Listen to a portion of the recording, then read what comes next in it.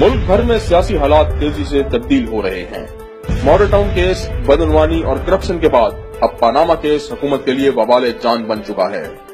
अवाम की कसीर तादाद social media के ज़रिए मौजूदा हुकूमत के खिलाफ आवाज़ बुलंद करती नज़र आ रही है।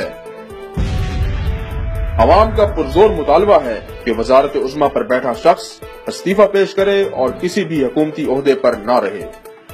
याद रहे, अदलिया के खिलाफ हालिया सोशल मीडिया मुहिम चलाने और दुश्मन मुल्क के खास लोगों से मुलाकातें करने पे भी अवाम नवाज़ शरीफ से ज़्यादा खुश नहीं है।